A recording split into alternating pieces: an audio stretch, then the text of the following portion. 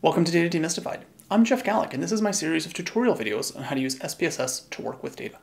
In this video, I'm going to show you how to conduct, interpret, and plot a two-way interaction between a continuous and categorical variable using linear regression. As always, we'll be using the YouTube viewing habits survey that I created, and you could find both a link to the data file and a video tutorial of the data below. Before we get to the main part of this video, if you haven't already watched my videos on basic linear regression as well as multivariable regression, I really strongly suggest that you do that so that none of this will be too confusing for you. If you already feel comfortable with those, we can dig in. In this video, we're going to complete a large number of steps in order to both compute a continuous by categorical interaction in a linear regression, interpret those results, as well as plot the results. In particular, we're going to cover seven different steps. First, we're going to talk about how to code a categorical variable as a dummy variable, as 0, 1. Second, we're going to talk about centering independent variables that are continuous. Third, we're going to talk about creating interaction terms. Fourth, we'll actually run the regression.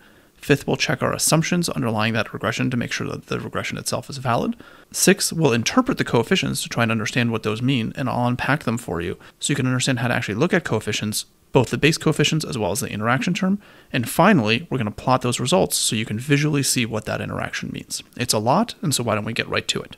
The specific interaction that we'll be looking at is going to predict this variable, average opinion, which is the average opinion people hold on a number of dimensions of the YouTube viewing platform. And we're going to try and predict it as a function of two things. One, as a function of gender, that we'll see how we have to code that in a second. And two is the importance that people place on the number of views a video has in terms of their decision whether to watch that video or not. And critically, we'll interact the two to see if the influence of importance of views differs as a function of gender on how it influences average opinion. But before we could do any of that, we have to make sure that the variables that we're going to use are coded correctly. And at the moment, they are not. In particular, if we start with gender, we see that that variable is coded as 1, 2, and 3. 1 male, 2 female, 3 and other. Well, we cannot include that variable in its state in a regression. We have to convert that to some form of a dummy variable or an effect code or some other way to represent the categorical nature of those variables. To keep things simple, I'm going to exclude the other category as there are only a few responses in this dataset, and we're going to code this as male versus female. And the way I'm going to do that is using a tool that I haven't really shown before, but it's this tool under transform, recode into different variables. What this tool lets us do is actually change a variable into a new variable using some basic rules. And so I'm going to use this to change gender, which is the variable I'm going to put over here, into a new variable, and I'm going to call this variable male dummy, because I like to call my dummy variables by whatever the value 1 will represent. And as a reminder, dummy variables are coded as 0 versus 1. And so once I do that, I can click change, and then I have to define what the old and new values are going to be. I can click that right here. And I know that male is coded as 1. We see that right here. So I'm going to put 1 as the value. And in the new variable, I want it to remain 1, so the new value will remain 1. And then I click add. I want female to be coded as 0, and I know that female is coded as 2 in my original data, so I put 2 over here. And I want it to be coded as 0, so I include the 0 over here. And then I click add. But there's still the number 3, so what I have to do is say any other values which is right down here, we're going to code those as system missing. What that will do is exclude all the participants who responded anything other than male or female from any analysis that we do, and that's fine. Like I said, there's only a few people here that actually said other, and so to keep things simple, we'll do that. If you wanted to have a more sophisticated analysis with multiple levels of an independent variable, you would have to create multiple dummy variables, and that'll be a topic for another video. So I'll hit add, and so this is our coding scheme. If it's 1, it remains 1. If it's 2, it goes to 0, and everything else goes system missing. I'll click continue and I'll click OK. And what you'll see down here is this new variable called male dummy. If we look into it, we'll see it's all ones and zeros, except if we keep scrolling, we'll find some missing values for the folks who said three for gender. That gets us to the appropriate categorical independent variable. But one of the things we need to think about is that our variable of importance views is not centered. And centering is actually really important to do a few things. One, it helps us with any correlations that might exist between the two independent variables. And second, it really greatly increases the way that we can interpret the coefficients in the regression that we ultimately run. And there are a number of approaches to centering, but what we're going to do what's called mean centering, which is to identify the mean or the average value of this variable and subtract that fixed value from every single response we get.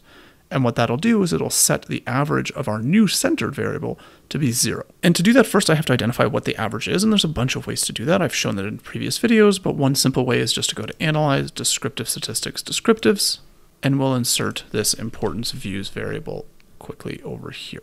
And I can click OK, and I see that the mean is 2.07. So to create a centered variable, I'm going to go up to the Transform Compute Variable tool, which is a topic I cover in another video.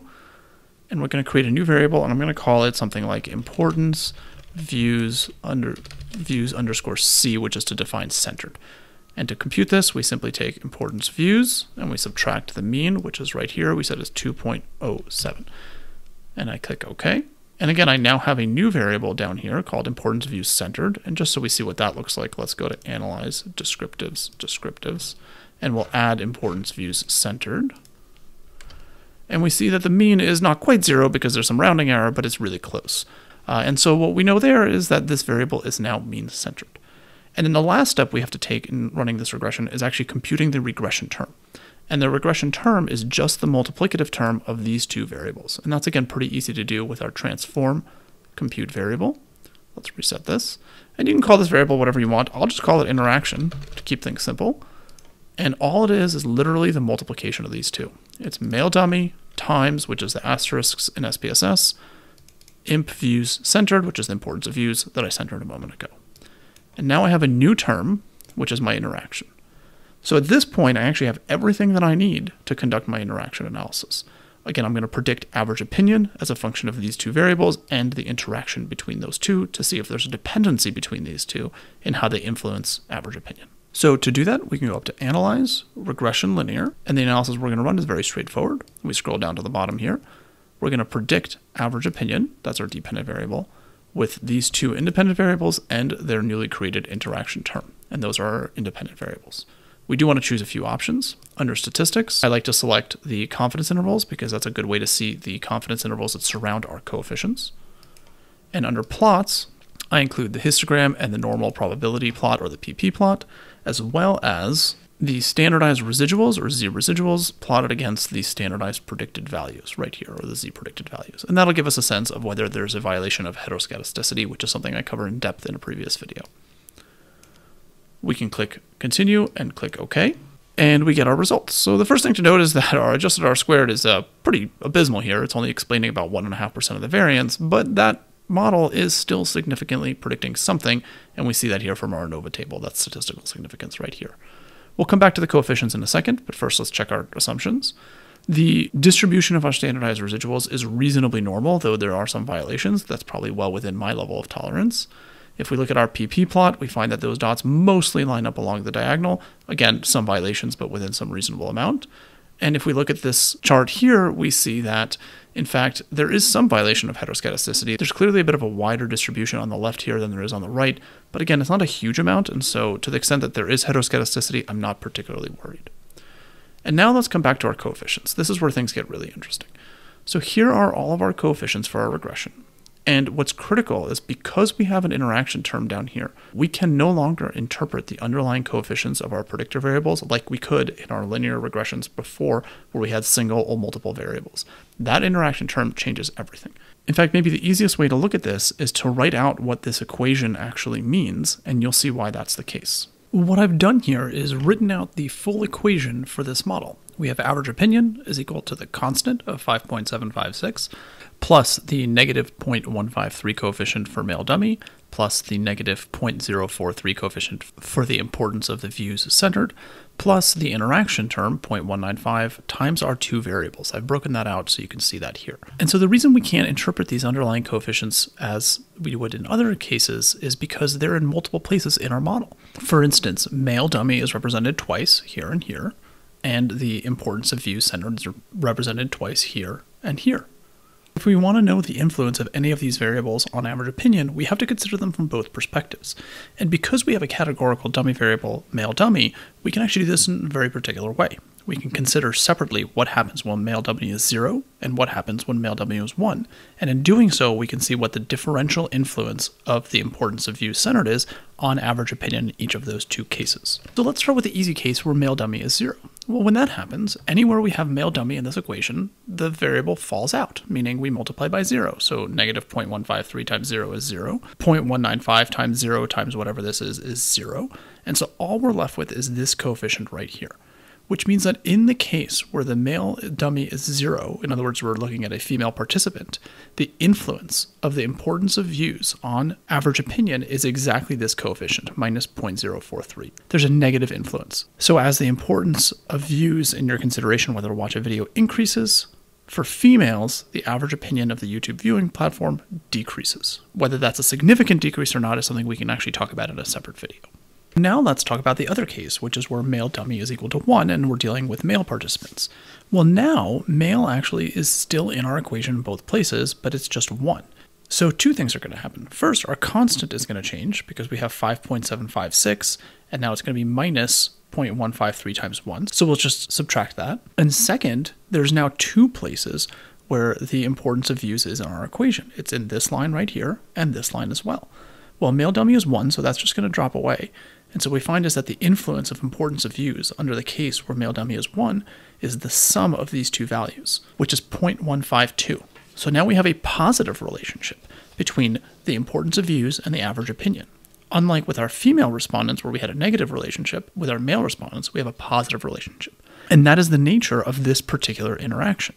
We'll see that a little bit more clearly when we visualize this. But again, to interpret any of those coefficients, we have to look at the totality of the model because our variables are represented in more than one place. So now that you understand what the set of coefficients actually means, why don't we go ahead and visualize it? Because I at least personally find it very useful to be able to visualize my results. Now, in order to do that, I actually have to rerun this regression and add one more option. So if we go up to Analyze Regression Linear, under Save, what I'd like to do is save the unstandardized predicted values. What that'll do is it'll save what this model predicts for every level of our independent variable, at least of our continuous independent variable, and then I can plot that within SPSS. If I click continue and I click OK, it'll just rerun the entire model. But what's important is it's going to save this new variable we can see right here called PRE1, which is just predicted variables 1. And that's what we're going to use to plot our regression lines. Now, there's a bunch of ways to do this in SPSS. I really don't like the SPSS chart builder, so I stick with the legacy charts. Under graphs, legacy dialogues, we're going to use the scatter dot plot, and we're going to do a simple scatter plot. In the y-axis, we're actually going to include this new predicted variable. And in the x-axis, we're going to include our continuous variable, which is the importance of views centered. Now, what's really important is we're going to set the markers, the color of those markers, to be a function of the male dummy, male or female. And what that'll do is that'll actually color code it so we can split out the two lines. And you'll see what that looks like when I hit OK. So this is our interaction. Now I understand it would be nicer if this was a line versus a scatter plot, but this is a perfectly fine representation. And what you see here is the following. On the x-axis is our centered independent continuous variable. On our y-axis is what the model predicts the average opinion will be as a function of this value. But what we also have are two different colors. We have red dots to denote when the male dummy is 1, that's male, and we have blue dots to denote when the male dummy is 0, which is female. And just like we saw with our regression coefficients, when we work out the math, we see that when the person is male, there's a positive relationship between how important it is they find views in a video and how much they like YouTube.